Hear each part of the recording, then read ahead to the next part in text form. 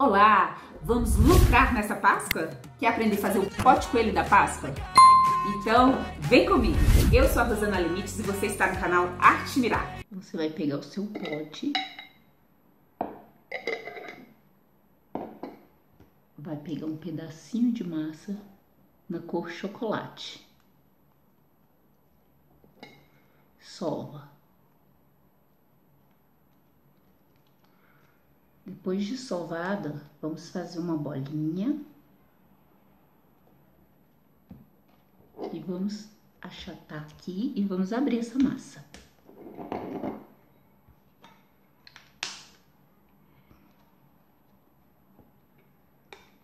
Vou, grudar, vou untar minha bancada com um pouquinho de óleo para não grudar minha massinha aqui, ok? Esse é um olhinho de bebê que eu utilizo porque a minha bancada aqui, ela tem uma textura casca de ovo. Agora vamos abrir a nossa massa.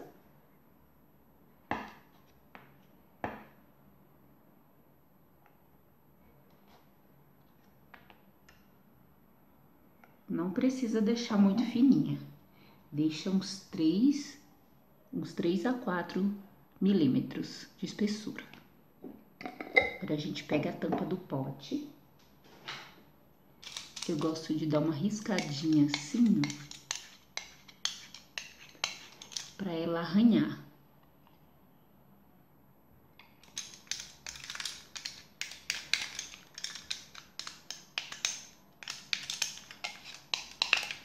Ou você pode lixar, dar uma lixadinha se preferir.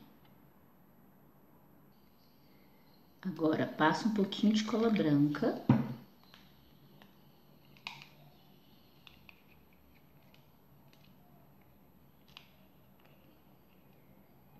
Coloque aqui. Limpe a mão. Mãos limpas e secas. Vamos tirar aqui. E vamos dobrar assim, ó.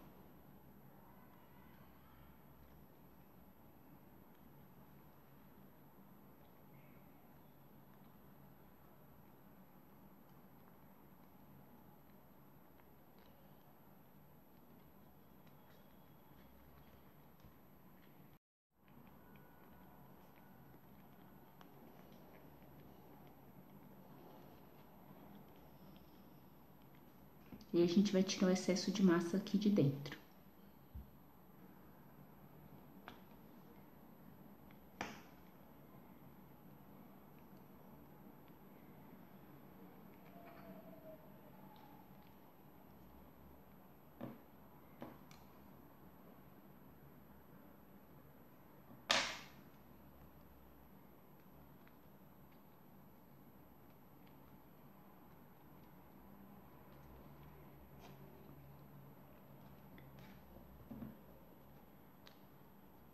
Pode deixar essa sobra aqui, não tem problema, tá? Deixa secar aqui, porque quando secar nós vamos ajeitar, cortar novamente.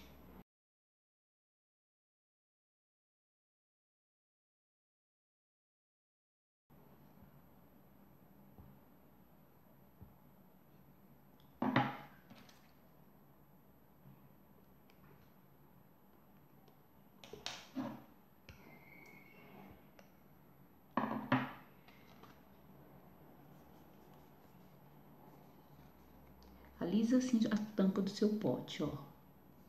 Dessa forma aqui. O ideal é que essa tampa fique bem lisinha. Se você tiver com dificuldade para fazer essa tampa bem lisinha, você pode colocar textura nela. Como? Você vai rodar ela assim na sua bancada. Para quê? Para que ela vai, para que ela fique quadradinha, retinha.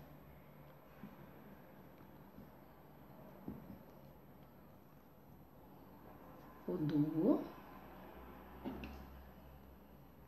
Alisa aqui em cima, porque a gente vai pegando, vai tirando a moldura, vai, vai ficando grosseiro, né? Aí, o que, que você vai fazer? Ó, rodou, deixa, deixa o máximo certinho que você puder.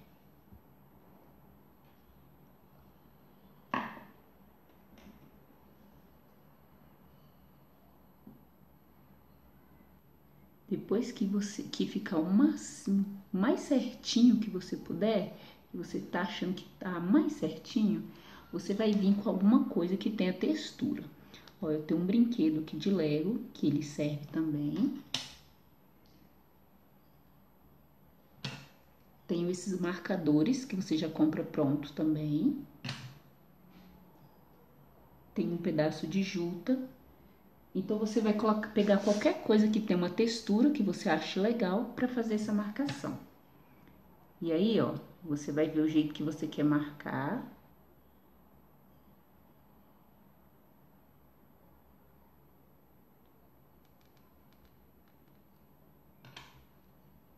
Olha, ele dá uma disfarçada legal no na parte que não ficou do jeito que você quer, não ficou tão certinho que você do jeito que você quer, tá?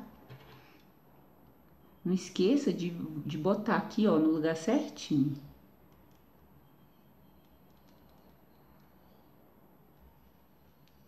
Para que dê continuidade aqui e não fique marcado errado, tá? Olha aí. Pronto você vai ver que aqui deforma, porque a gente apertou aqui. Agora, vamos consertar isso. Eu vou pegar alguma coisa para apoiar aqui, tá? Para apoiar aqui. Por quê? Se eu não colocar nada aqui embaixo, ele vai deformar aqui a parte de baixo. Então, eu vou pegar qualquer coisa que caiba aqui. Peguei isso aqui, ó. Vou colocar aqui. Porque eu vou ter que alisar a parte de cima.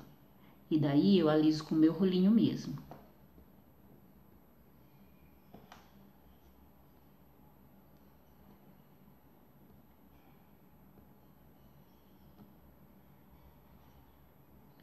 Vai virando devagarinho. Essa base tem que ficar bem lisinha.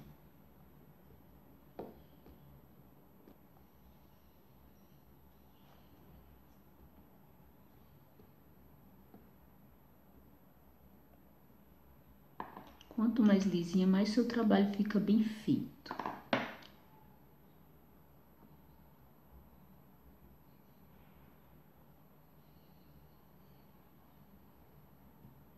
Ok.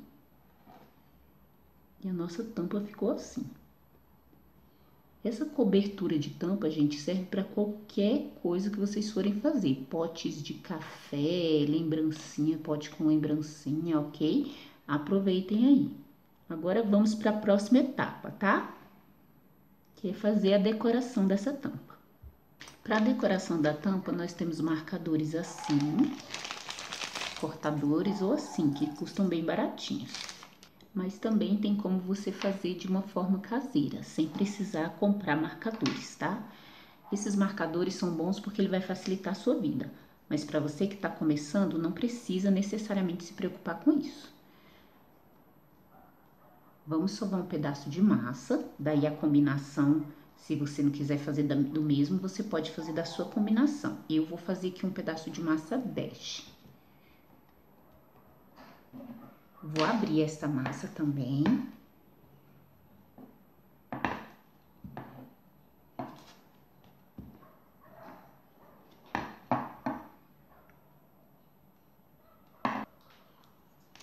Vou colocar aqui dois palitos porque eu quero a altura desse palito.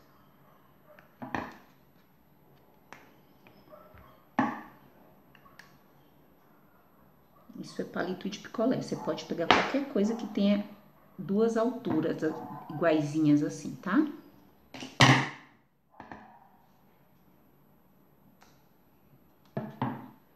Pronto, descola a sua massa e corte.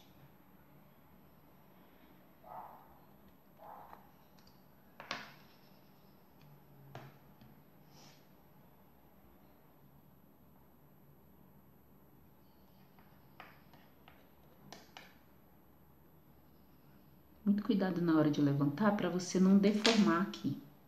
Aqui eu sempre gosto de fazer isso aqui, ó, para tirar aquela marca de corte. Pronto.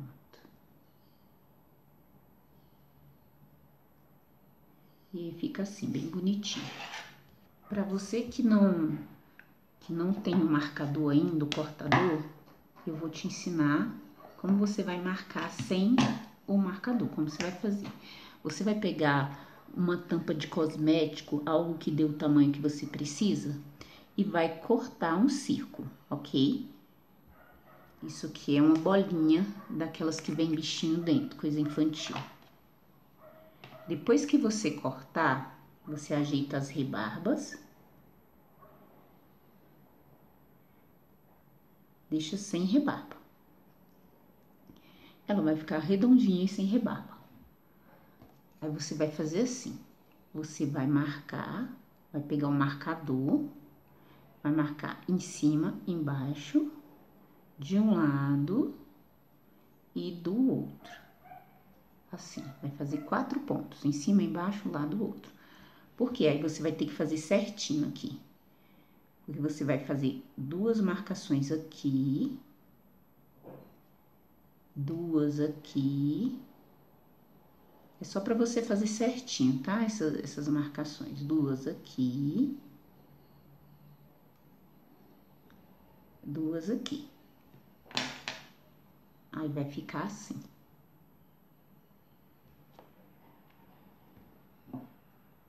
Ó, vou fazer isso aqui só para dar uma alisadinha, mas não pode fazer forte, senão deforma. Ok? Você vai fazer dessa forma, se você quiser fazer. Se você quiser com esse espaço menorzinho, você faz três, tá? Agora, vamos colar o nosso detalhe na nossa tampa. Vamos passar um pouquinho de cola nas beiradas, ó. Vou passar aqui no meio também, mas o importante mesmo é não deixar de passar nas beiradas e vamos colar aqui no meio da nossa tampinha. Vê direitinho qual é o meio.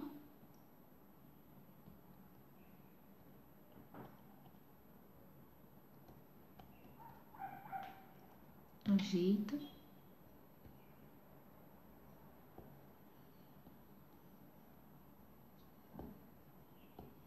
E pronto, tá colado. Bom, colou. Agora vamos fazer alguns detalhes. Você pode fazer com palito ou com boleador.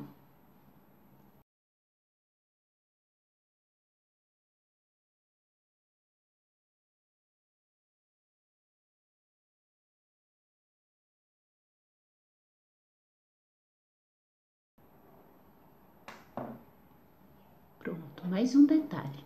Vamos pegar agora um pedaço de massa para a gente fazer as orelhas do coelho, para colocar orelhas ali naquele pote, na tampa do pote. Pega um pedaço de massa branca, solve, rola.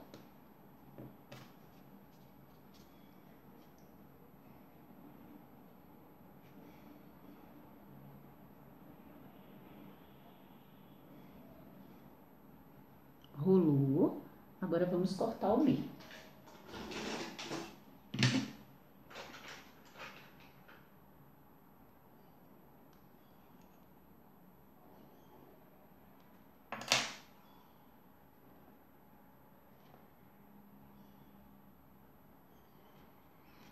Agora vamos rolar só esse lado.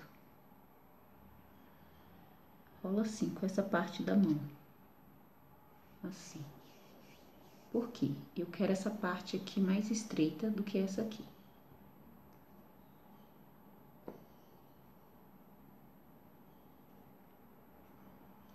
Dessa forma, tá vendo?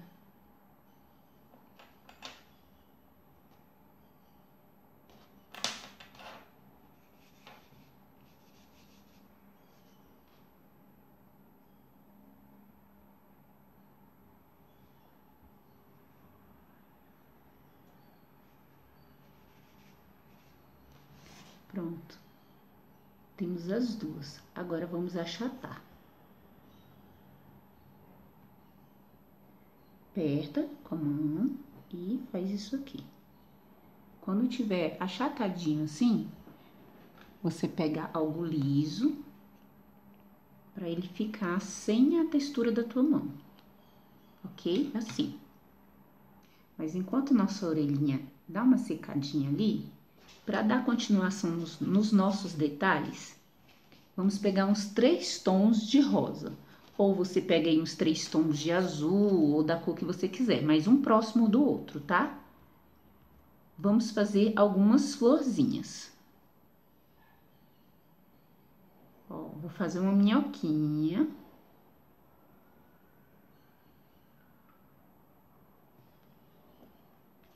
A primeira florzinha. Faça uma minhoquinha, sove sua massa, faça a minhoquinha e corte pedaços, assim. Tamanhos diferentes.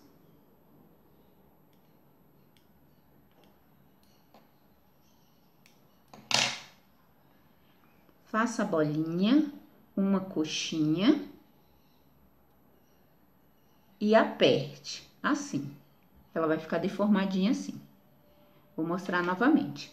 Faça uma bolinha uma coxinha e esmague assim na mão, com o dedo mesmo. Vai ficar uma diferente da outra. Faça com todas essas aqui.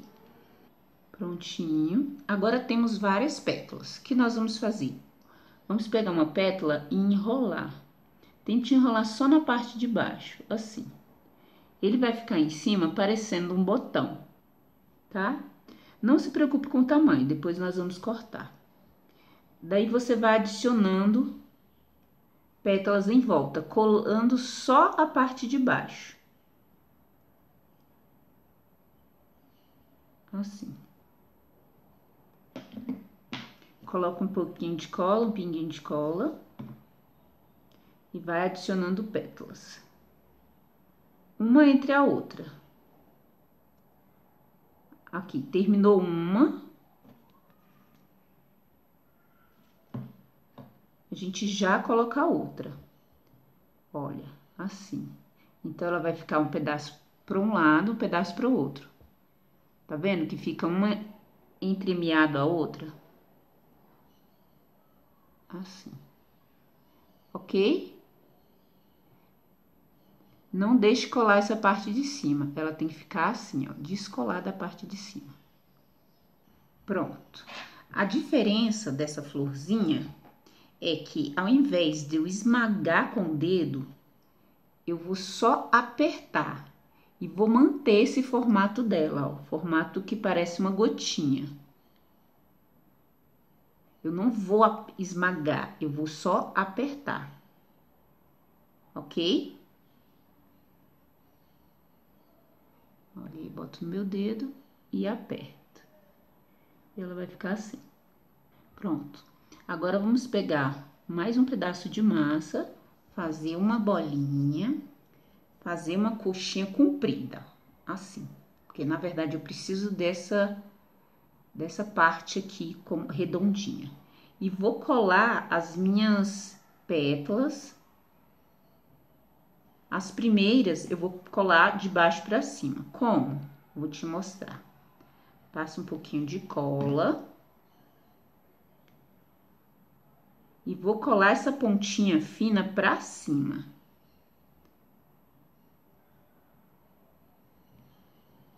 Vou já mostrar, tá? Ó, essa pontinha fina pra cima.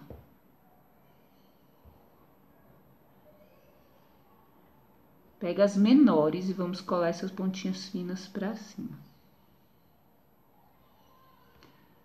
Ó, essa pontinha mais fina pra cima.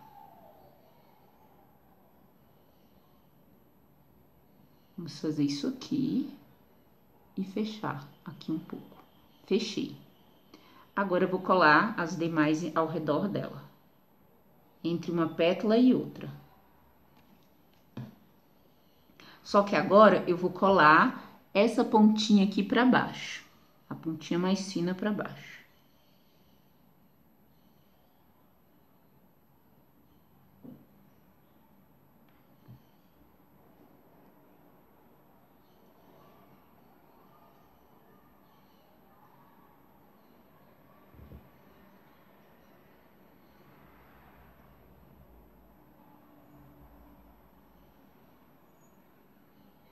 Vira outro formato de flor. Mas vamos colar mais pétalas, peraí. Rola um pouquinho para ela grudar e abrir. E entre uma pétala e outra, a gente coloca, vai colocando outra. Também de pontinha para baixo.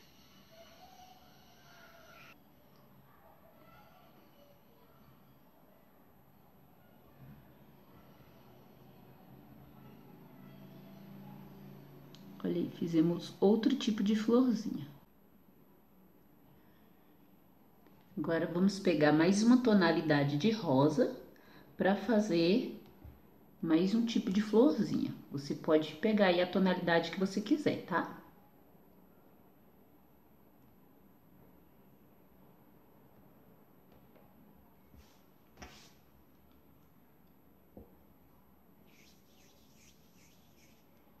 Pega um pedaço, faz uma bolinha, faz um compridinho. Vamos cortar e fazer cinco, cinco pedaços iguais. Um, dois, três, quatro, cinco. Vamos fazer bolinha e a coxinha. Vamos lá, você pega um pedaço, rola e faz a bolinha. Se você não ficar bolinha, se ficar comprido assim, é porque você tá pesando a mão. Você deixa mais suave, mais leve a sua mão. Aí vai ficar bolinha.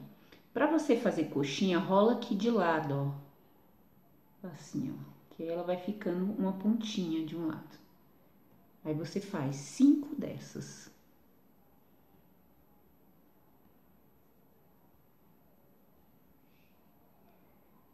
Aqui nós temos uma florzinha com cinco pétalas, certo? Vamos juntar essas cinco, o pezinho dessas cinco. O pezinho é o que? A pontinha, pontinha dessa coxinha. Vamos juntar as cinco.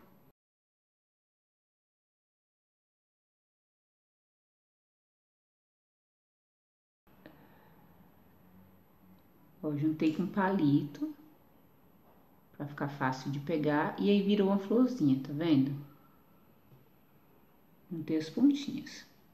Daí, você pode deixar achatadinha, assim, achata só um pouquinho, e coloca o miolinho nela, da cor que você quiser. Eu vou colocar uma bolinha amarela para fazer o miolo dessa florzinha. Mais uma florzinha. E agora vamos fazer a folhinha. Vamos sovar a massa, vamos fazer bolinha. E vamos fazer um rolinho, pra gente tirar os pedaços. E esses rolinhos, aí eu reforço novamente na coxinha. Ó, vou fazer uma bolinha. Eu tirei pedaços de massas diferentes, ok? Vou fazer uma bolinha. Depois eu faço uma coxinha, certo? Aí eu vou achatar. Quando eu achatar, eu pego uma ferramenta, agulhinha, por exemplo, e vou fazer aquela marcação de folha, assim.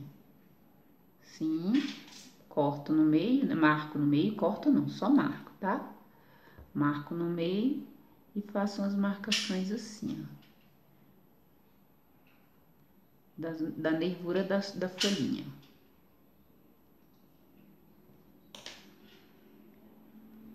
Ficou uma folhinha. Faça isso com os outros pedaços. Faça um monte de folhinhas. Vou fazer mais uma vez. Faz a bolinha rola só de um lado para ela virar uma coxinha e achata. Quando você achatar, ela fica assim, uma gotinha achatada. Você marca no meio, marca aqui no meio, só marcar, e depois marca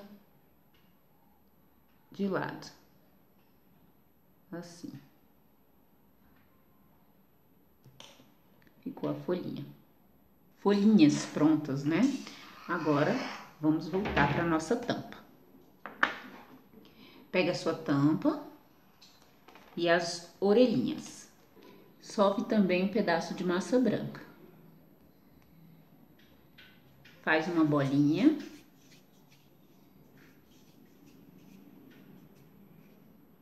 E faz um compridinho, assim, rola para frente e para trás para ficar comprido, dessa forma. E aí vamos colar aqui no meio.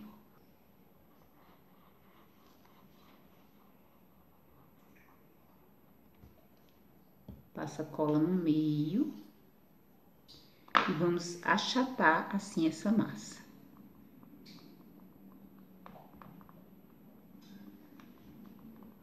Achatou a massa, vamos colocar as nossas orelhinhas.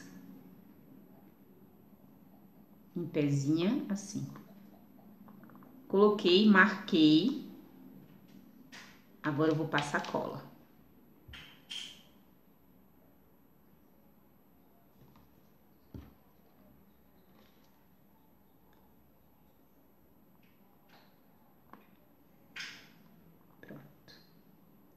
Passei cola, colei as orelhinhas aqui, certo? Agora, a gente vem com a nossa decoração de flores. Vamos passar mais cola nesse pedaço aqui, porque a gente vai colocar flores.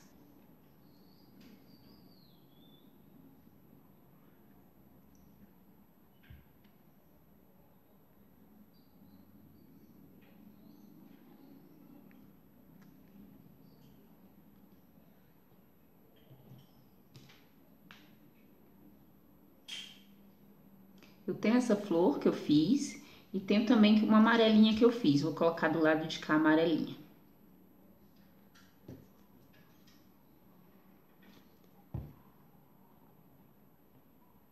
Vou colocar a rosinha aqui.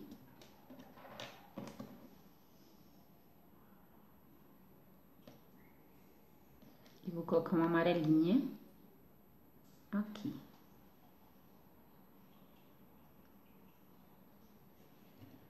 Não podemos esquecer também das folhinhas, né?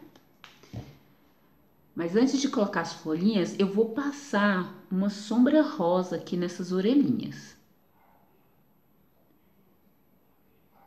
Ó, vou passar só no pezinho aqui da orelhinha. Fazer uma sombrinha rosa. Isso, é esse, essa sombra, eu tô fazendo com pozinho mesmo rosa de sombra de, de olho mesmo, tá? Depois que você invernizar, ele não sai. Vamos também a, colocar agora as folhinhas. Depois que a gente pintou a sombra, vamos adicionar as folhinhas. Aí, essa decoração aí, gente, é a gosto, tá? É do jeito que você achar que vai ficar bonito.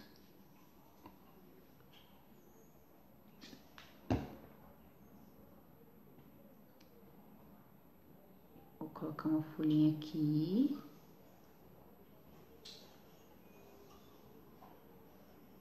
Vou colocar uma aqui também.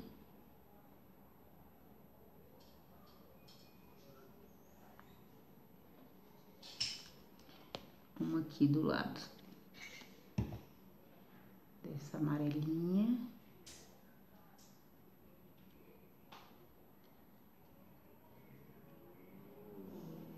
E só, usa só essas. Olha aí como ficou. Olha aí, gente, como é que ficou de pertinho. Se ficar muita sobra, é igual aqui ficou um pouquinho tortinho, o que, que você vai fazer? Você vai pegar um estilete e cortar o excesso, assim. Vai bem facinho, ó. Tá vendo? Não esqueça de invernizar, ok? Daí você pode colocar no vidro, no vidro, né? Colocar uns, umas guloseimas assim. E aí, gostaram? Se gostaram, se vocês gostaram, assista o próximo vídeo que é sobre o tema Páscoa também. Um beijo e até o próximo vídeo.